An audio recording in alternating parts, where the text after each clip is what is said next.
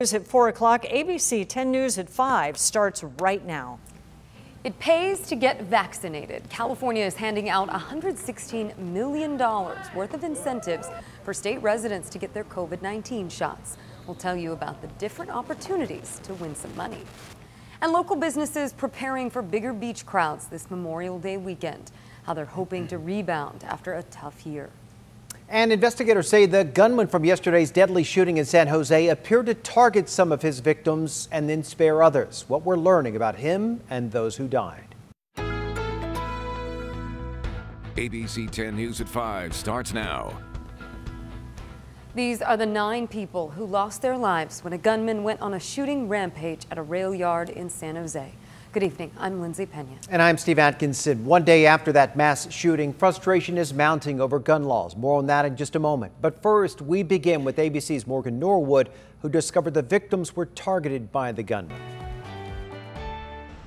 While authorities search for a motive in the rail yard massacre in San Jose, loved ones of both survivors and victims left reeling in anguish as they try to make sense of this senseless shooting. He grabbed my hand. Tara Fritch says her husband of 20 years died in her arms. He's crying. and he took his last breath and his heart stopped. Right then and there. Joanna Talvado anxiously awaiting news that her father, Russell Talvado, who hid behind a train car, was okay. He heard the shooter shooting inside so luckily, um, he was able to run for his life. The CEO of VTA holding a moment of silence for the nine employees killed. All of them men, the shooter seemingly choosing his targets. I do know that he had a specific agenda and was targeting certain people. He walked by other people. He let other people live as he gunned down other people. We heard they, uh, he chose the people to shot, but I don't know why they chose him. He has nothing to do with him. Authorities say the shooter was loaded with two semi-automatics and ammunition. Kirk Bartlett heard the barrage of shots. He ran to help, but it was too late. I just wanted to help. I just wanted to see if I could save anybody. And uh, there wasn't anything anybody could do. Investigators are still working to determine a motive, which includes going through the gunman's social media accounts and cell phones. Loved ones will come together to remember the lives lost during a vigil tonight. Morgan Norwood, ABC News, Los Angeles. Totally disgusted, um, really disappointed, and, and angry. In the wake of another mass shooting, growing frustration about the ability for gun regulation and gun rights advocates to come together to save lives. ABC 10 News reporter Jeff Lasky spoke with them about what they say is standing in the way of a compromise. In the wake of the mass shooting in San Jose, new calls for gun reform. Right now, there are way too many people slipping through the cracks people who shouldn't have guns are getting them, and it's unacceptable. Carol Landale heads the San Diego chapter of the Brady campaign to prevent gun violence. She says with mass shootings becoming a daily occurrence, there's clearly a problem. We've got too many guns out there. I, the last estimate I saw was, I think, 400 million for a population of 300 million. Um, there's something wrong with the picture. They say just as wrong is that major action isn't being taken by the federal government as a response. It's a frustration that poured out of Governor Gavin Newsom after yesterday's shooting. There's a sameness to this, and that numbness, I think, is something we're all feeling. What the hell's going on in the United States of America? What the hell's wrong with us? We've had more mass shootings in 2021 than we've had days in the year. And so, what, gun owners, is your solution?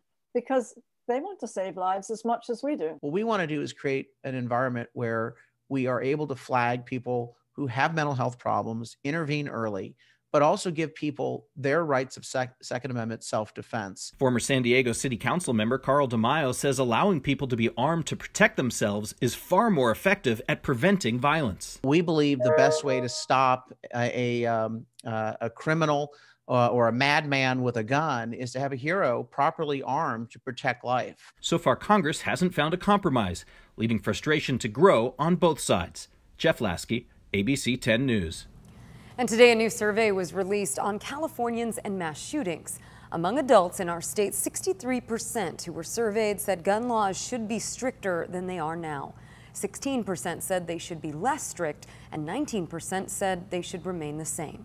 Meantime, half of those surveyed said they are either very or somewhat concerned about the threat of a mass shooting in their area. And you can follow any developments surrounding this story by downloading our free mobile app. Just go to the App Store and search 10 News. Memorial Day weekend has not even started, but it is already looking a little bit different out there. On the left side, you can see the smaller crowds and police patrols enforcing social distancing. This was last year.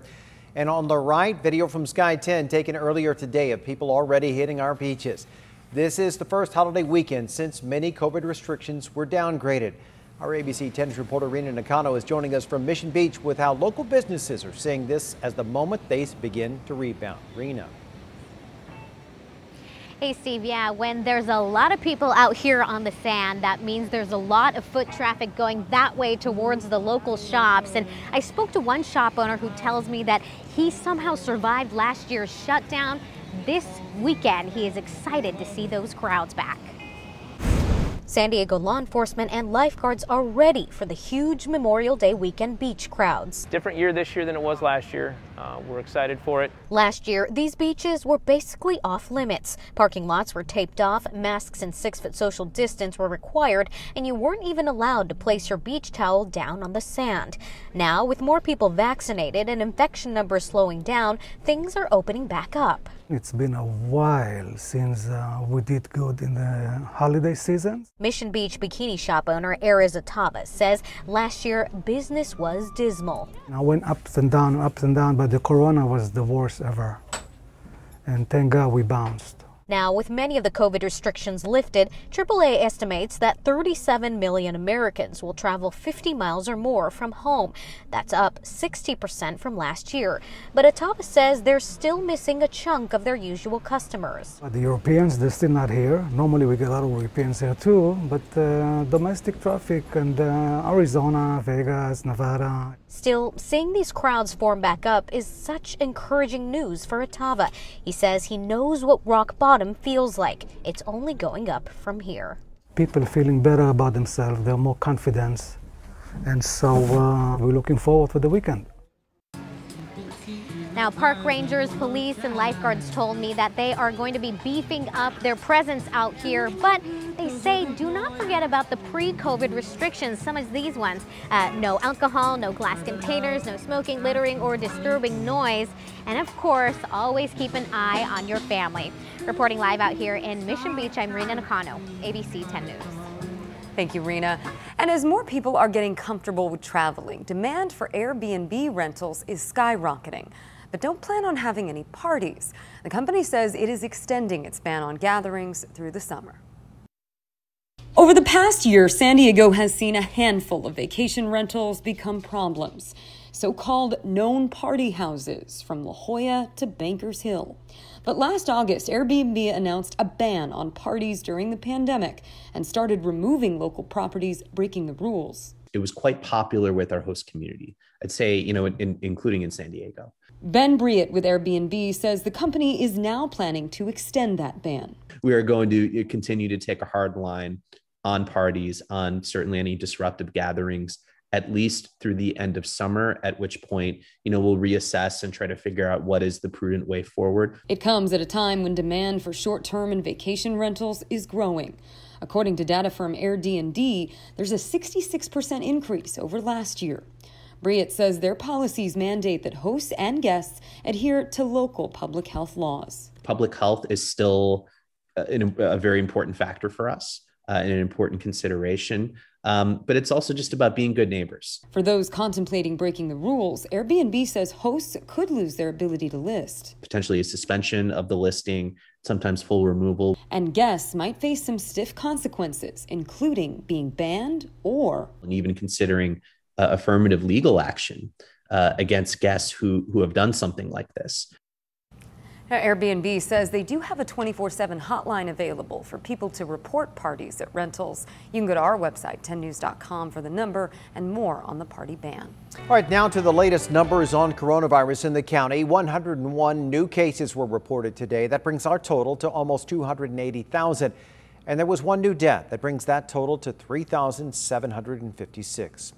More than $100 million in prize money will soon be up for grabs for vaccinated Californians. Governor Gavin Newsom announced the massive pot of money as part of an effort to encourage more people to get their shots. Our ABC 10 reporter Anthony Pura has more on the largest prize announced for any state so far. Anthony. That's right. There's a big push to get vaccines into arms. And right now, California is offering up millions of dollars to its residents as an incentive to get vaccinated. So, according to the state, close to 63% of Californians 12 and older are at least partially vaccinated. But about 12 million people who are eligible for the vaccine have not gotten it. The state is setting aside $50 gift cards for newly vaccinated people starting today. They're giving them to the first 2 million people in a first come, first served basis.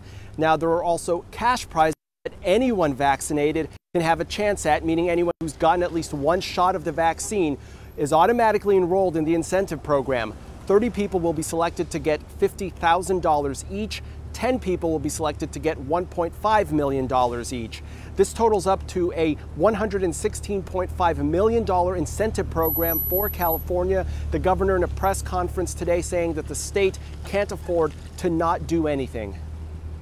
People the state of California and the costs in terms of business interruptions, the cost in terms of the opportunity not to be back in school for in person instruction. We can't afford to run, forgive me, the 90 yard dash. We got to finish the job. And CVS today announced that they are also offering incentives for anyone vaccinated by June 1st. They'll have a chance at some sweepstakes prizes, including cash, destination vacations, and trips. They add to a list of business businesses that are getting involved in incentivizing getting vaccinated. We're reporting live in North Park. Anthony Pura, ABC 10 News. It is working. Anthony, thank you. As states work to get more people vaccinated, there is renewed focus on how the pandemic started. There are two new leading theories. Either the virus was transmitted through contact with a diseased animal or it accidentally leaked from a lab in China.